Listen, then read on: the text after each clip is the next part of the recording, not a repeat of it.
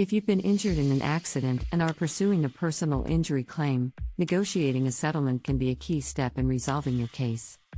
Here are some strategies for negotiating a settlement in a personal injury case.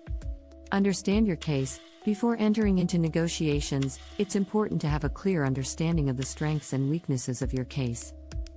This includes a thorough assessment of your damages, as well as an understanding of the legal and factual issues involved.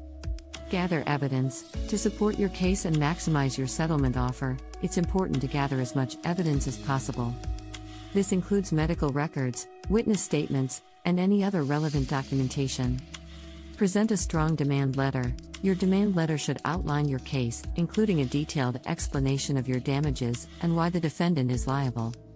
It should also include a specific settlement demand. Be prepared to negotiate. Negotiations can be a lengthy process, and it's important to be patient and flexible. Be prepared to listen to the defendant's arguments and to adjust your settlement demand if necessary.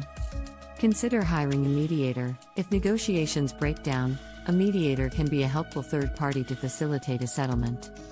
A mediator can help both parties to understand each other's positions and to find common ground.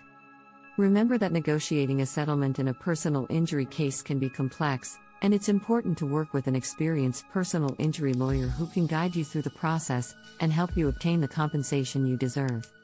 For more information and a free consultation, please call at 855 497 2326 or visit us online at www.adamthompsonlaw.com.